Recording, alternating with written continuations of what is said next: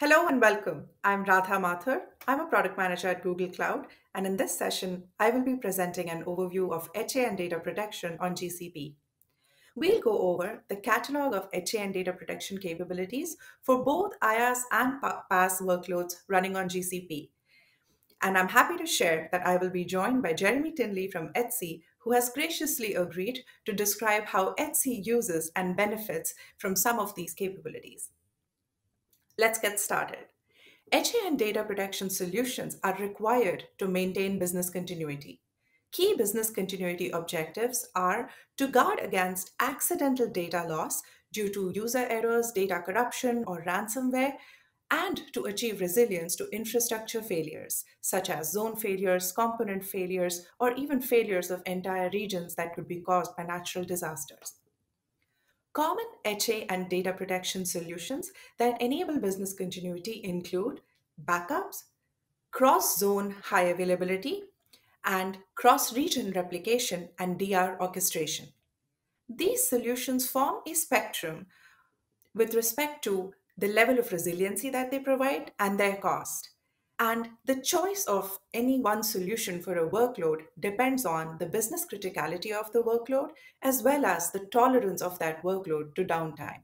For example, workloads that can tolerate a higher recovery time could employ backups for protection against both user errors and infrastructure failures, whereas mission critical workloads that have stringent uptime requirements would typically use replication based solutions for protection from infrastructure failures, and in addition to that, use backups for protection from user errors.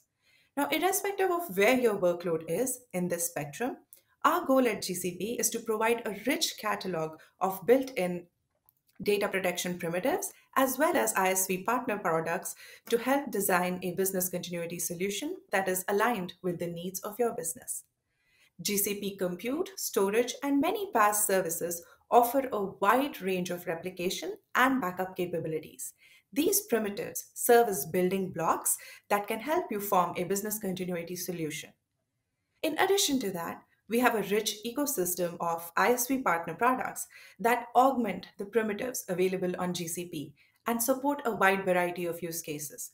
From protecting GCE VMs to enterprise applications such as SAP to replicating entire VMware environments from on premises to GCP for disaster recovery.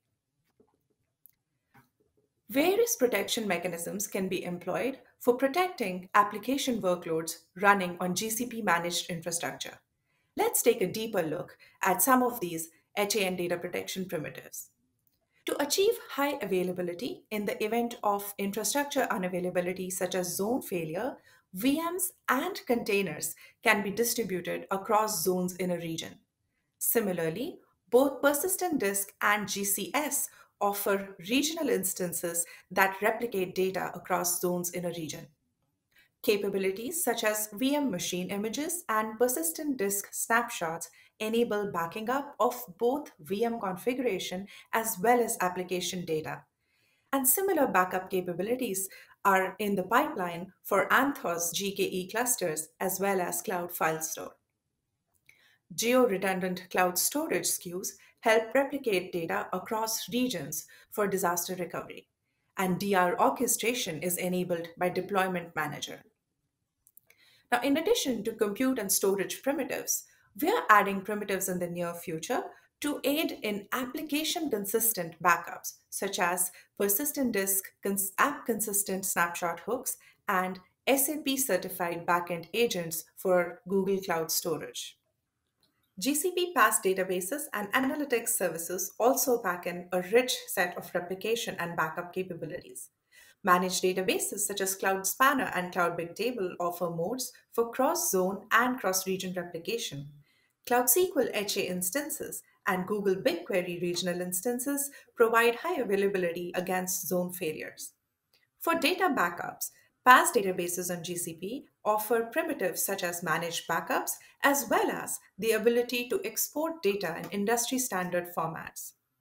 Cloud SQL also enables granular recovery for, from user errors or application corruption via point in time recovery. Having looked at primitives suited for IaaS and PaaS workloads running on GCP, let's look at how one of our customers is using GCP's business continuity primitives as building blocks in their data protection strategy. I'm pleased to welcome Jeremy Tinley, Senior Staff Engineer on Etsy's database infrastructure team, to share insights from their protection strategy for Etsy.com. Welcome, Jeremy. Thanks, Radha. I've been at Etsy for six years, and over that time, the infrastructure has considerably evolved. We recently migrated to Google Cloud, and this gave us a chance to rethink our general DR strategy. Google Cloud offers a wide range of services for DR. Selecting, and more importantly, adopting them was very important to us. But first, a little bit about Etsy. Etsy is a global online marketplace where people come together to make, sell, buy, and collect unique items. So, who sells on Etsy? Etsy sellers are people from all over the world. They use their incredible talent to make things. This can be blankets made in Morocco, jewelry from Ecuador, or even soap made in Seattle. They can also be people who have vintage items that they're finally willing to part with. On the flip side of the marketplace, you have buyers. Etsy buyers browse the marketplace looking for items based on personal style or need. My current favorite is buying handmade chocolate truffles. I usually buy them locally made from somebody who's in my community, who's my neighbor. Um, and that also helps because the shipping is really quick. My favorite thing about Etsy, though, is that they enable a human to human connection.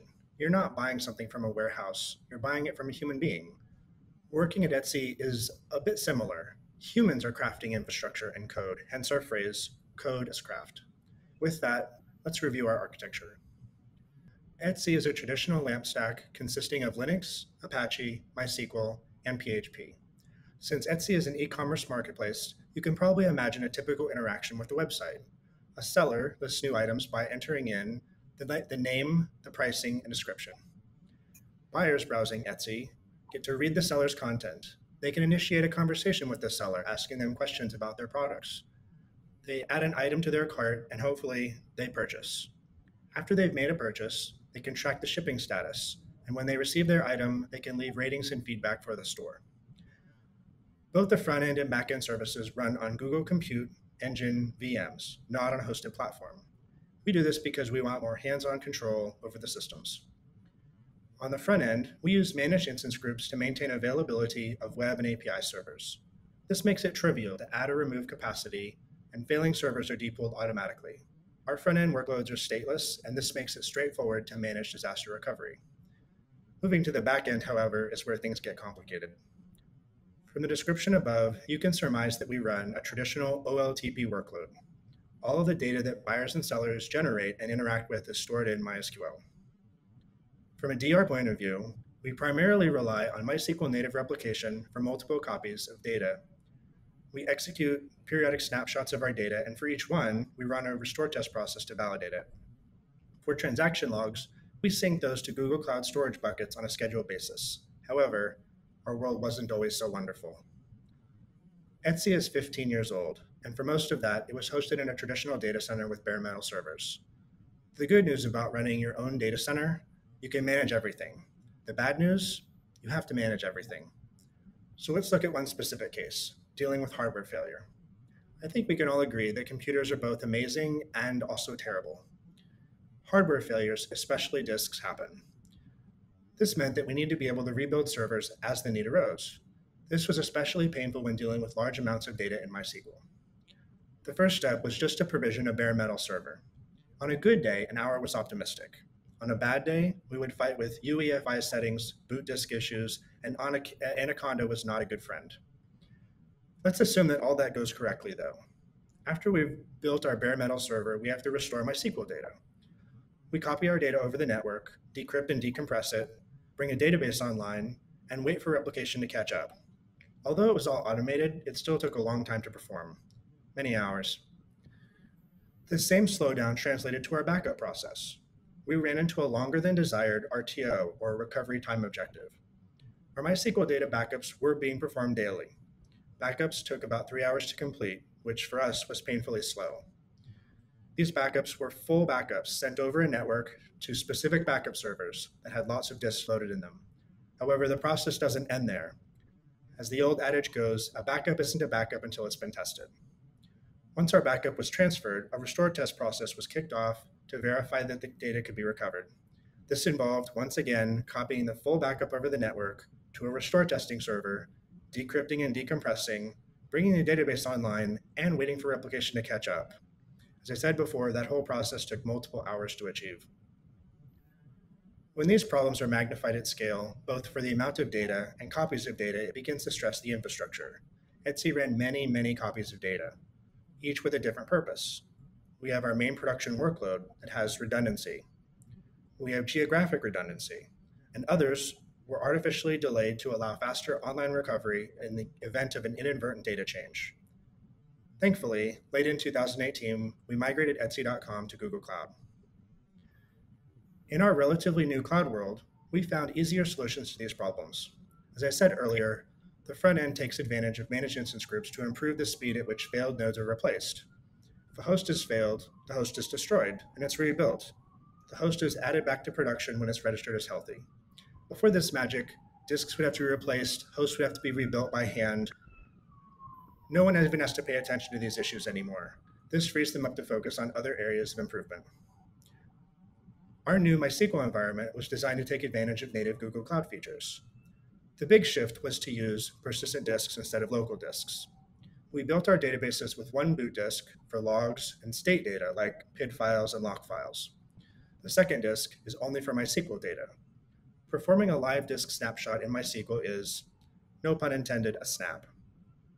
There's no need to quiesce a database either. When MySQL starts up, it's treated like a crash and it recovers itself. By using persistent disks, we got very easy differential backups with PD snapshots. And coming from the world where we did full backups every single day, this improved our backup times from two to three hours down to three minutes. We can now take many snapshots per day, giving us the ability to roll back data to a previously known good point.